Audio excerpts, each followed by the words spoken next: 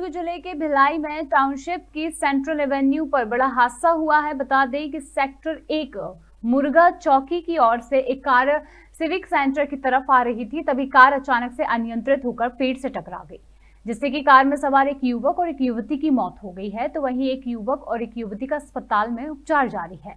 Police के मुताबिक चारों युवक युवती मरुदा जी पॉकेट के रहने वाले हैं। दोनों के शव को पंडित जवाहरलाल नेहरू चिकित्सालय और अनुसंधान केंद्र सेक्टर नौ की मोर्चरी में शिफ्ट करा दिया गया है। वहीं भट्टी पुलिस ने मृग कायम कर मामले की जाँच शुरू कर दी है।